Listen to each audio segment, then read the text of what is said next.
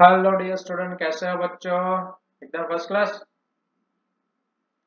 welcome to all of you in our beautiful channel Modulus institute आज हम लोग discuss करने वाले unit test five paper solution standard twelve subject physics जिसमें chapter है chapter number six seven eight और nine total marks रहेगी इसके ट्वेंटी फाइव जो बच्चे लाइव है, मुझे सुन पा रहे, देख पा रहे हैं, जल्दी से चैनल को सब्सक्राइब करें।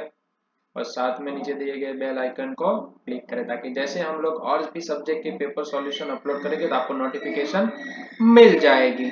ठीक है ना? चलिए फिर, ज़्यादा टाइम नहीं लेते हुए पेपर सॉल्यूशन की ओर बढ़ते हैं।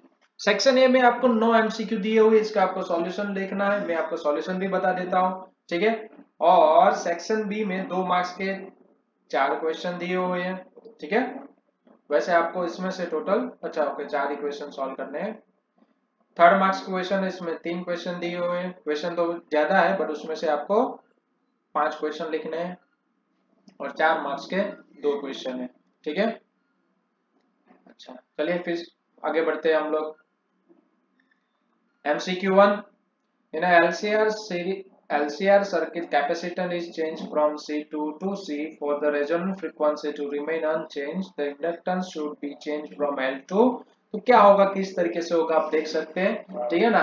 रेजोनेंट फ्रीक्वेंसी अगर कांस्टेंट है तो फिर दोनों को इक्वेट कर दीजिए। रेजोनेंट फ्रीक्वेंसी का फॉर्मूला होगा one by square root of L into C दोनों को इक्वेट कर दीजिए तो आंसर मिल जाएगा। For an AC given by i is equal to 50 cos 100 t plus 45 ampere the value of RMS क्या होगा? Maximum divide by root two तो 50 डिवाइड बाय रूट टू आगे बढ़िए क्वेश्चन नंबर थ्री में। यार एकदम ये तो सिंपल है यार, फालतू सा क्वेश्चन हो गया, ऐसा हम लोग बोल सकते ठीक है ना? एकदम इजी हो गया। Okay chapter number sorry question number four देखिए। If r and l denote a resistance and inductance respectively, which of the following has a dimension of time l by r? देख सकते हैं किस तरीके से होगा। और आपके दिमाग में और भी कई सारे क्वेश्चन आते हैं, सर, कैसे होगा? डिटेल सॉल्यूशन देखना या फिर डिटेल में सारे टॉपिक पढ़ने हैं तो डिस्क्रिप्शन बॉक्स में लिंक गिवन है।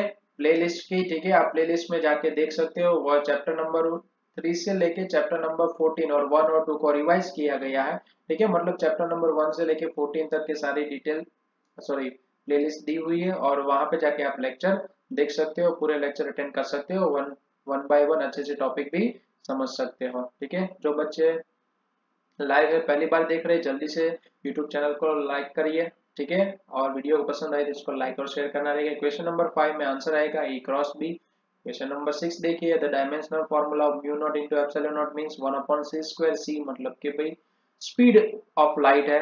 तो उसका डायमेंशनल फॉर्मूला होगा, फिर आंसर आएगा L raise to minus two T raise to two ठीक है? क्वेश्चन सेवन देख सकते हैं आप फोकल लेंथ क्या होगी किसकी ज़्यादा होगी?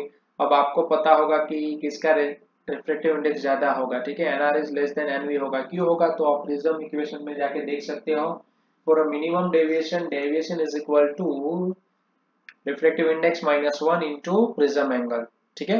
इस तरीके से फॉर्मूला होगा। जिसका मिनिमम डेविएशन होगा, उसका रिफ्लेक्टिव इंडेक्स कम होगा। जिसका मैक्सिमम डेविएशन होगा, उसके लिए रिफ्लेक्टिव इंडेक्स ज़्यादा होगा।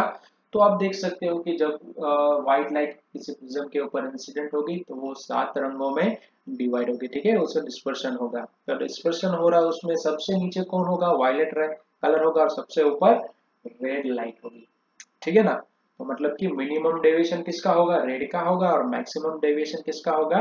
वायलेट का होगा। तो आप देख सकते हो उसमें से फोकल लेंथ किसकी ज़्यादा हो गई? जो नज, जल्दी नज़दीक मतलब कि जिसका डेविएशन ज़्यादा होगा वो नज़दीक का कोइंसाइड करेगी तो फिर नज़दीक नज़दीक कौन ही जगह पे रुक जाएगी, ठीक है ना?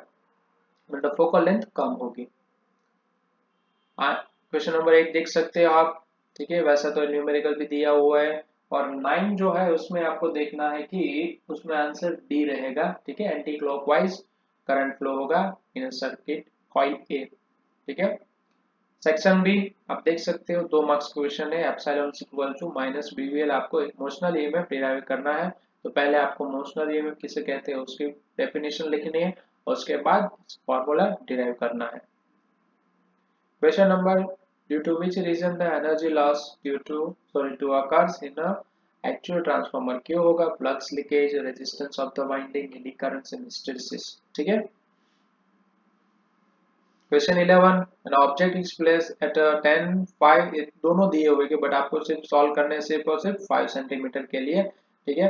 मतलब कि यही आपको सिर्फ़ देखना है क्वेश्चन नंबर सॉल्यूशन जो दो दिया हुआ है, वही आपको देखना है। इमेज इज़ देखिए इमेज डिस्टेंस क्या है? ग्रेटर देन ज़ीरो मीन्स की पॉजिटिव है। पॉजिटिव मतलब कि बिहाइंड द मिरर मीन्स की क्या होगा? वर्चुअल इमेज होगी।